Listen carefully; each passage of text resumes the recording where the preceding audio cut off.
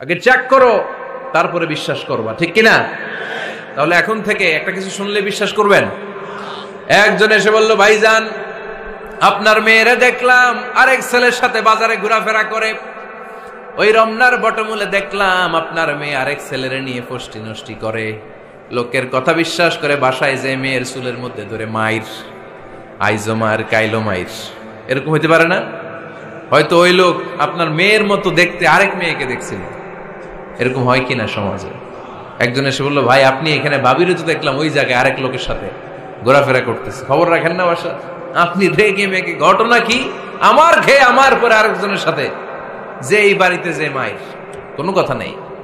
দেখবেন যে ছোট্ট মারামারি থেকে এই ঘটনা অনেক সময় বিচ্ছেদ বা ডিভোর্স পর্যন্ত গড়ায়, ঠিক কিনা? ওই যে শোনা কথায় কান দিছেন ফাতাবাইয়ুন, আপনি চেক করেন নাই। হয়তো আপনার স্ত্রীর মতো দেখতে বা আপনার স্ত্রী যে জামা পরে, যে পোশাক পরে, এরকম পোশাক পরে আরেক নারীকে দেখছে, আপনার বউ না এটা। আপনার মেয়ের ব্যাপারে যে তথ্য দিয়েছে, এটা সঠিক নয়। সে আপনার মেয়ের মতো আরেকটা মেয়েকে দেখেছে। এসে আপনার কাছে বলে দিছে আপনি বিশ্বাস করছেন। ভেজাল আছে না নাই? এই ভেজালগুলোকে থামানোর জন্য কোরআনে এই বিধানগুলো নাজিল করেছে কে? তাহলে ফরিদপুরের ভাইয়েরা, সমাজটারে সুন্দর রাখার তথ্য একটা শুনলেই বিশ্বাস করবেন না। সিলে কান নিয়ে গেছে, শুনলেই সিলের পিছনে দৌড়। নাকি? কি করবেন? আগে কানে হাত দিয়ে একটু দেখব কান দুইটা আছে না নাই। তারপরে চিলের পেছনে দৌড়ান তাহলে এখন থেকে আমরা তথ্য একটা শুনলে বিশ্বাস করব। তাহলে কি করবেন? বলতে হবে, কি করবেন? যাচাই বাছাই জাস্টিফিকেশন অফ দ্য নিউজ কোন নিউজ জাস্টিফিকেশন ছাড়া আমরা প্রচার করব, বিশ্বাস করব শেয়ার করব? না। আল্লাহ বললেন, ইয়া আইয়ুহাল্লাযীনা আমানু লা ইয়াসখার কওমুম মিন কওম। ওহে আমার ইমানদার বান্দারা, শোনো শোনো, খবরদার কখনো কোনো মুমিন বান্দারে ঠাট্টা করো না, অবজ্ঞা করো না, ঠাট্টা করো না। তার মনে কষ্ট হয়, এমন কোনো কথা তারে বলো না।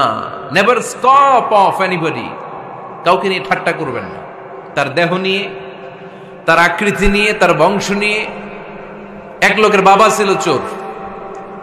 কিন্তু তার ছেলে অনেক ভালো। আপনি কি তারা বলতে পারবেন? তুই চোরের ঘরের চোর। বলতে পারবেন? চুরি করছে বাবা, ওর কি দোষ? কথা বলেন। এগুলো কবিরা গুণা। আওয়াজ করে বলেন তো কি গুণা? কবিরা গুণা। কারও আকৃতি নিয়ে আমার ফরিদপুরের কলিজার টুকরা যুবক ভাইরা কারও আকৃতি নিয়ে কখনো অবজ্ঞা করবে না, তুচ্ছ জ্ঞান করবে না। এটা কবিরা গুণা। এটা আল্লাহ খুব অপছন্দ করেন। এর কারণ? আকৃতিটা আমাদের হাতে নাই। আমাদের কারও নাক লম্বা, কারও খাটো। আমরা কেউ কালো, কেউ সাদা। আমরা কেউ স্মার্ট, কেউ অন্যরকম। তো এই যে আমাদের এক এক ধরনের আকৃতি, এটা কি আমি বানাইছি? আপনি বানাইছেন। দিছে কে? এই জন্য কারও দেহের গঠন নিয়ে যদি আপনি অবজ্ঞা করেন, এটা প্রক্ষান্তরে আপনি স্রষ্টাকে নিয়ে অবজ্ঞা করবেন। কারও দেহের আকৃতি নিয়ে যদি আপনি তুচ্ছ করেন, তাকে তুচ্ছ করেননি, আমার রবকে আপনি তুচ্ছ করেছেন, চিল্লায় বলেন, ঠিক কিনা? খবরদার, তুই কালু, তুই লম্বু, তুই মটু, তুই কানা, তুই রোহিঙ্গা। আছে না নাই? ইদানিং ইদানিং এটা খুব চলে। এই রোহিঙ্গা নামটা আছে না? ফরিদপুরে এগুলো ঢুকে নাই না? আমাদের ওইদিকে দেখি কি অবস্থা, কারোর সাথে কেউ লাগলে তুই রোহিঙ্গা। কি আশ্চর্য? এই গালি কবে আসলো? হ্যাঁ? অনেক ধরনের গালি। ঢাকায় আর একটা চলে ফৈন নির্বুত কি বলে? এই, এগুলো আগে শুনি নাই আমরা। রিসেন্ট এগুলো বলা শুরু করছে ফৈন নির্বুত রোহিঙ্গা। না। এগুলো বলে আপনি কাউকে অবজ্ঞা করতে পারবেন? পারবেন না। খবরদার, এটা কবিরা গুণা। এটা ছোট গুণা মনে করবেন না। কারণ আকৃতি নিয়ে তুচ্ছ করা যায় না। কারণ আকৃতি দান করেছে কে?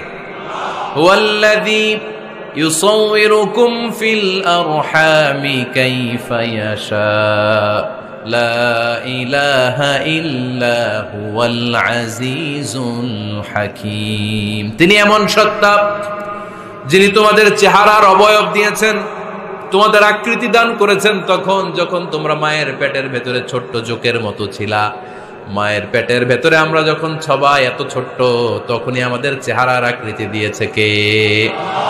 কে সুন্দর হব, কে ছেলে হব, কে মেয়ে হব, কে মোটা হব, কে চিকন হব, আমার ইচ্ছা হয়েছি? আওয়াজ করে বলতে হবে, কার ইচ্ছায়? প্রত্যেককে যদি আল্লাহ প্রত্যেকের নিজের চেহারা ডিজাইন করতে দিতেন, আল্লাহ যদি বলতেন, তোমার চেহারাটা কেমন হবে তুমি ডিজাইন করো।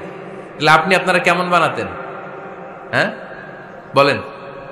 ফরিদপুরের ভাইরা বলেন সুন্দর করে বানাতেন, তাই না? সবচাইতে স্মার্ট সবচেয়ে সুন্দর করে আমি আমার চেহারাটা বানাতাম। যদি আমাকে ডিজাইন করার সুযোগ দেওয়া হতো, কিন্তু এই সুযোগ তো আল্লাহ দেন নাই। ডিজাইন স্বয়ং করে দিয়েছেন কে? কোন নারীকে যদি আল্লাহ বলতে, এই নারীরা, তোমাদের চেহারা কার কেমন লাগবে? তোমরা বানাও। প্রত্যেক নারী কি করত?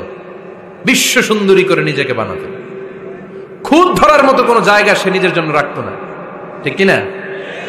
কিন্তু এটা আল্লাহ দেন নাই। এই আকৃতিটা আমাদেরকে সরাসরি দান করেছেন কে? খবরদার আমাদের অনেকে বিকলাঙ্গ আমাদের অনেকের হাত ছোট পা বড় দেখতে মোটা কেউ চিকন কেউ কালো খবরদার। কারও আকৃতি নিয়ে কখনো কোনো অবজ্ঞার সুরে ঠাট্টার সুরে কোনো কথা আমরা বলব না। রাজি আছেন? সবাই রাজি আছেন? আল্লাহ রাসুল ইসলামের এক সাহাবি ছিল নাম ইবনে মাসউদ রাদিয়াল্লাহু তাআলা উনার পায়ের নলা ছিল খুব চিকন অস্বাভাবিক চিকন স্বাভাবিক না। তো উনিও এটা ঢেকে রাখতেন। দেখাতেন না কাউকে। একদিন উনি খেজুর পাড়ার জন্য খেজুর গাছে উঠলেন। খেজুর গাছে ওঠার পরে নিচ থেকে সাহাবারা পায়ের চিকন নলা দেখে ফেলছে। দেখে সবাই হাসি। সবাই হেসে কুটি কুটি। বিশ্বনবী বললেন হেসো না খবরদার, আমার ইবনে মাসুদের পায়ের চিকন নলা দেখে হেসো না আমার ইবনে মাসুদের এই পায়ের চিকন নলা যদি মিজানের পাল্লায় উঠিয়ে দেয়া হয়, কেয়ামতের দিন অহুত পাহাড়ের চেয়েও ভারী হয়ে যাবে। খবরদার, আমার ইবনে মাসুদকে আমার আল্লাহ অনেক পছন্দ করে। তার পা চিকন দেখে তাকে তুচ্ছ করো না। আল্লাহর হাবিব সাহ ইসলামের এগারো জন স্ত্রীর মধ্য থেকে একজন স্ত্রী ছিলেন, একজন স্থূল আকৃতির। অবিসিটি ছিল, একটু মোটা। ওনার নাম ছিল সাফিয়া রদি আল্লাহ আলা আনহা। তা আম্মা জানা আয়েশার সাথে একবার সফিয়ার ঝগড়া। নবীদের বউদের মাঝে মাঝে মাঝে ঝগড়া হতো। তবে সেটা হতো মধুর ঝগড়া, সুবহানাল্লাহ, পড়েন। আম্মা তাআলা আনহার বাসায় একদিন বিশ্বনবী বসা ছিলেন। স্ত্রী, বিশ্বনবীর আরেকজন স্ত্রী রান্না করে কিছু খাবার আম্মা ঘরে পাঠিয়েছেন। এক দাসী দিয়ে বলল, যাও, এটা আয়েশার ঘরে দিয়ে আসো, কারণ নবী আয়েশার ঘরে। আম্মা জান আয়েশা রাদিয়াল্লাহু বললেন, এগুলো কি? ওই দাসী বলে, তরকারি, কে দিছে অমুক স্ত্রী? কেন দিয়েছে? আমি কি রান্না করতে পারি না? তোমরা রান্না তোমরা খাও। এই কথা বলে পাতিল সহ উড়ায় মারছে চেহারার মধ্যে। এর কারণ, ওনারা মানুষ ছিলেন। মানবীয় ব্যাপারগুলো ওনাদের মধ্যেও কাজ করত। আবার এক স্ত্রী ঝোল দিয়ে রান্না করে কিছু খাবার নিয়ে এসেছে। আম্মা জানা এসা রেগে মেগে ওই ঝোল নিয়ে ওই স্ত্রীর গালের মধ্যে মেখে দিয়েছেন বিষ্ণুনবীর আরেক বউয়ের গালের মধ্যে ওই ঝোল লাগাই দিস এবার ওই স্ত্রী বিষ্ণুনবীর কাছে যে বলে, ইয়া রাসূলুল্লাহ, দেখেন, আয়েশারে আপনি বেশি আদর করেন তো দেখেন কি করে আমাদের সাথে এই যে আমাদের গালের মধ্যে ঝোল মাখাই একেবারে মেকআপ বানাই দিচ্ছে বিষ্ণু ইসা ইসলাম বললেন, তাই আয়েশাকে ডাকো। আম্মা জান আয়েশা রাদি আল্লাহ তালা আনহা আসলেন। আল্লাহ রাসুসাহ ইসলাম বললেন, তুমি কি আমার এই স্ত্রীর সাথে এমন আচরণ করেছ? আম্মা জান আয়েশা বললেন, করেছি। কেন? আম্মা জান আয়েশা বললেন, তখন মেজাজটা গরম ছিল। এখন বুঝতে পারতেছে আসলে এই কাজটা করা ঠিক হয় নাই। এবার বিষ্ণুনবী বিচার করবেন। বিষ্ণুনবী বললেন, আল কেসাস, যেমন করা হয়েছে বিচার হবে তেমন। তোমার গালে যেমনি ঝোল লাগাই দিছে তুমি একটু ঝোল নিয়ে আয়েশার গালে লাগাই দাও। সুবহানাল্লাহ, পড়বেন না? ওই স্ত্রীও কিছু ঝোল নিয়ে আম্মা জান আয়েশার গালে লাগাই দিল। এখন দুইজনে হাসতেছে। বিশ্বনবীও হাসলেন। আরসের উপর থেকে খুশি হয়ে গেলেন কে? তো স্ত্রীদের মধ্যে মাঝে মাঝে এটা ঘটতো। সাফিয়া রাদি আল্লাহ আনহা ছিলেন একটু মোটা। আম্মা জান আয়েশা বললেন, ইয়া রাসূলুল্লাহ, দেখেন আপনার মুটি বউ, আপনার মুটকি বউ? এই মুটি বউ বলে একদিন একটা গালির মতো দিয়ে ফেলছে। আল্লাহ রাসূল ইসলাম রেগে গেলেন। বললেন আয়েশা এটা কেমন কথা? তুমি বললা মুটি। আমার সাফিয়ারে তুমি মুটি বলে গালে দিলা রে আয়েশা। ইয়া আয়েশা, লাকাদ কুলতিলা কালিমা লাউ মুজিজাত বিমা ইল বাহরি লা মাজাজাতহু এমন একটা মন্তব্য তুমি সাফিয়ার ব্যাপারে করে ফেলেছো রে আয়েশা। এই কথাটা যদি সাগরের নীল পানির মধ্যে ছেড়ে দেয়া হয়, এই কথার পঙ্কিলতার কারণে, এই কথার কর্দমাক্ততার কারণে এই কথার পঙ্কিলতার কারণে সাগরের সব পানিগুলো মুহূর্তের মধ্যে কালো হয়ে যাবে। এই কথাটা সাগরে ফেলে দিলে সাগরের নীল পানি পুরোটা কালো হয়ে যাবে আয়সা খবরদার! কাউকে তুচ্ছ করে, অবজ্ঞা করে কখনো কিছু বলা যাবে না। এই জিব্বাটা এটা ভয়ঙ্কর একটা অঙ্গ। বেশিরভাগ পাপ এই জিব্বা দিয়ে হয়। কি দিয়ে হয়?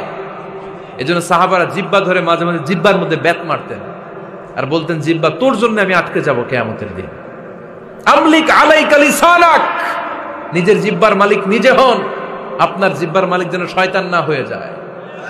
জিব্বা আপনার, শয়তানের ভাষা আপনি কথা বলেন। কেন? খবরদার, প্রতিটা কমেন্ট প্রতিটা কথা, প্রতিটা মন্তব্য এগুলোর ব্যাপারে কেমতের দিন পাই টু পাই করে আপনার কাছে আল্লাহর সুপ্রিম কোর্টের কাঠ গড়ায় দাঁড় করিয়ে আপনারা জিজ্ঞেস করবে কে? এজন্য বিশ্বনয় বলছেন, মাইয়াদ মানলি মা বাইনা লিহিয়াইহি ও মা বাইনা রিজলাইহি আদমান লাহুল জান্নাহ। আমার কোন উম্মত যদি দুইটা অঙ্গের গ্যারান্টি আমার দেয়, আমি আমার উম্মতকে জান্নাতের গ্যারান্টি দেব। দুইটা অঙ্গের, একটা হলো জিব্বা আর একটা লজ্জাস্থান। দুই চোয়ালের মাঝে যা থাকে লিজ্জা জিব্বা আর দুই পায়ের মাঝখানে যা থাকে লজ্জাস্থান। এই দুইটা অঙ্গের গ্যারান্টি যদি বিষ্ণু নবীকে আপনি দেন, যে নবী জিব্বা আর লজ্জাস্থান, এই দুইটা অঙ্গের কোনো পাপ আমি করব না। নবী বলে, আমি দুনিয়ায় তোমার জান্নাতের গ্যারান্টি দিলাম। এজন্য জিব্বাটারে সামলান। যা মনে চায় বললেন না খবর আছে না নাই? খবর আছে। মা